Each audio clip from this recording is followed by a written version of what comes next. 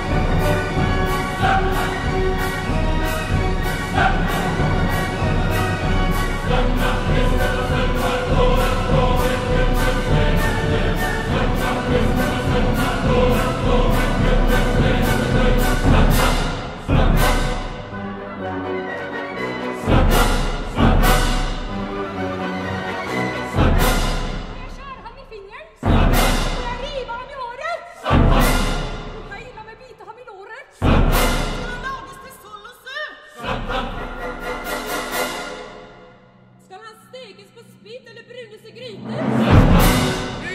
grytor?